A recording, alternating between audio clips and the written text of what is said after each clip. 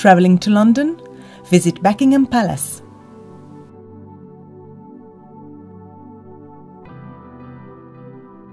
This is the Queen's official residency in London and one of the city's most popular landmarks, especially during the changing of the guard ceremony.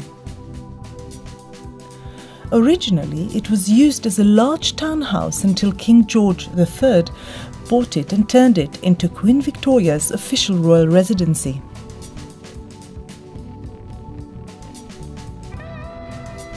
Check our video guides about nearby landmarks such as Trafalgar Square and Green Park, as well as our special royal video guide to learn about other royal landmarks in London.